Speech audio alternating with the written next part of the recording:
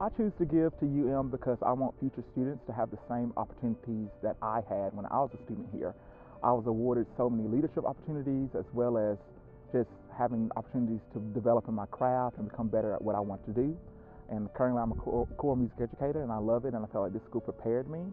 So I, that's just my way of giving back and my way of saying thank you to this university for providing me with so much insight, education, and just an enjoyable time in my life.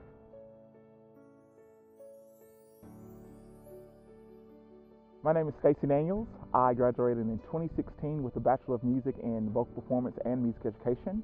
I'm in my third year of teaching public high school choral music, and I'm at Buckhorn High School right now teaching, and I love it. Well, I went to Clay Chalkville High School, which a large percentage of kids who are involved in the arts came from Clay Chalkville to Montevallo, so that's all I've heard. And like all my teachers, a lot of my teachers came to Montevallo, and I've heard about college night. And I came down here for Young Musicians Camp and the honor choir that the music department hosts.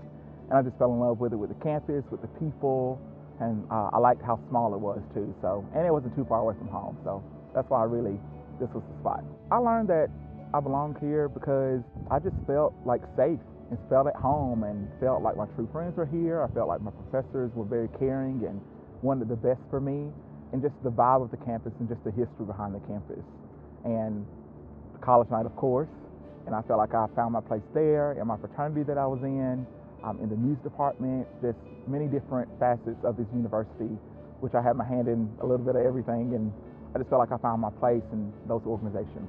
I wish more people knew about college night. I think a lot of people do know about college night, but just also just the homey feel of it and being a person who is valued and not a number. This is a small school, and I knew a lot of people on campus, and a lot of people knew me, and I just thought it was just a great bond that everybody had here and just the connections that the professors and staff made with the students. I choose to give to UM because I want future students to have the same opportunities that I had when I was a student here. I was awarded so many leadership opportunities as well as just having opportunities to develop in my craft and become better at what I want to do. And currently, I'm a choral, music educator, and I love it. And I feel like this school prepared me. So I, that's just my way of giving back and my way of saying thank you to this university for providing me with so much insight, education, and just an enjoyable time in my life.